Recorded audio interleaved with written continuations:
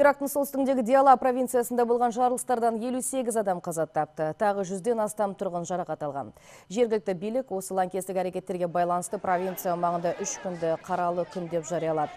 Марқұмдардың арасында бейбіт тұрғындар мен күрттердің қауіпсіздік саласының қызметкерлері бар. Естеріңізге сала кетейік, содырлар 12 қазанда Баакуба қаласы мен оның маңында мина қойылған үш көлікті жарып жіберген. Бұл қантөгістерді ислам мемлекеті лаңкестік ұйымының мүшелері жасаған. Олардың айтуынша жарылыстарды үш жан кешті іске асырған. Біріккен ұлттар ұйымының Иракқа көмек беру жөніндегі миссиясының хабарлауынша, осы елде қыркүйек айында болған лаңкестік әрекеттерден 1100-ден астам адам көз жұмып, 2000-ға жуығы жараланған.